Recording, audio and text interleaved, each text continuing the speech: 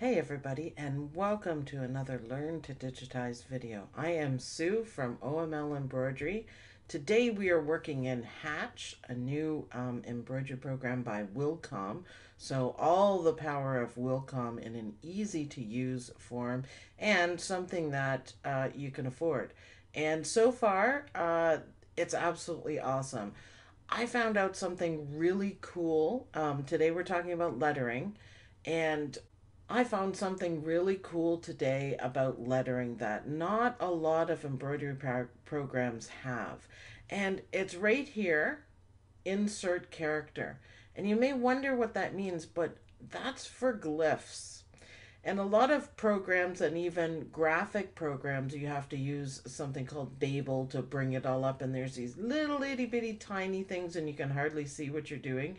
This makes it a lot easier. So for those people that are in love with the Samantha font and they want ligatures and they want swirly things, how do you do it? It's usually pretty difficult to come up with it until now. And really seriously, it's awesome. So let's just do some lettering.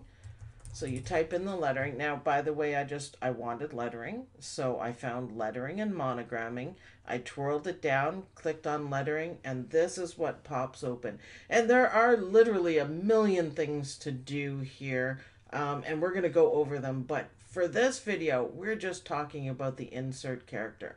So what does that do? Okay, let's click on it. Let's find out. Now, these are all of your extra characters that are that come with the font. Now this one is um, a pre-digitized font, so of course it's going to be perfect. And the program comes with quite a few of them. And you see you have these little symbols and accents um, on all the letters. And these are pre-digitized, so it's absolutely awesome. But what if you wanted to use your favorite um, TTF or OTF font? I guess it would be TTF because we're um, PC you can go down. Now, see this red squiggly line? That designates that it's a pre-digitized font. And we want to go down here to where it says TT. And these are all the fonts that are already loaded on your computer. So they're TrueType fonts. So you can use them in Photoshop, Illustrator, any programs like that and you can also use them in here. Now the rule is with TrueType fonts, not all of them work. Not all of them translate very well into embroidery. And you can kind of pick out some of the ones, you could try them, but you know some of the ones that are really small, or I saw one up here, um, one like this, Bronx. It, will work, but you can even see just on the little diagram here and everyone notice please that it changed to my lettering so you can actually see what it's going to look like. But ones like this, you can do them really big. You just really can't do them small. Same with the bloody one, which is great for Halloween.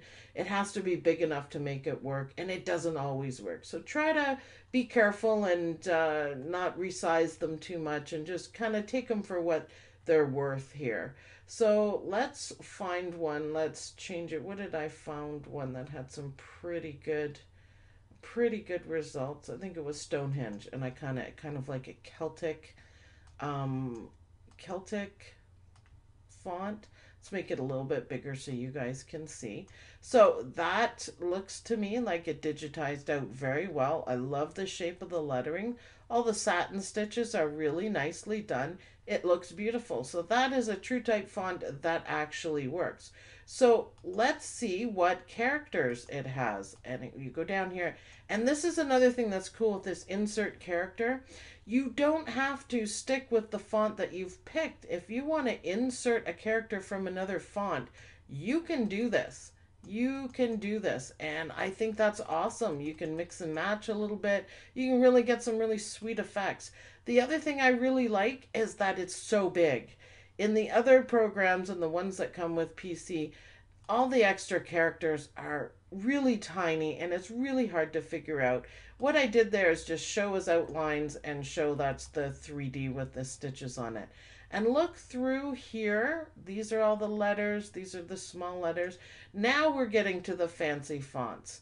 So the R, the backwards U, different languages, different things, ligatures. You'll be able to find the swashes and the ligatures and all of the accents. They're all there. There's some French ones, um, different symbols, different everything. Now, these are up to whoever created the TrueType font. So they'll have some and they'll not have other ones. Uh, it just really depends on how they're digitized. I know, for example, the famous uh, Samantha font has probably a hundred different ones, and it has all the fancy swirlies for the letters. And you just, again, it's really hard to do. It's really hard to figure out. Um, this is absolutely fantastic. So stylized quotes, and all you have to do is click on it, and if you look down right here, you can see that they're right there. Let's do another, let's do a trademark. Click OK, and it shows up there, and it shows up here. And that's all there is to it for adding glyphs and uh, fancy different things to your lettering using stuff that's already there. And I really think that's probably one of the sweetest embroidery features that I have seen in a long time.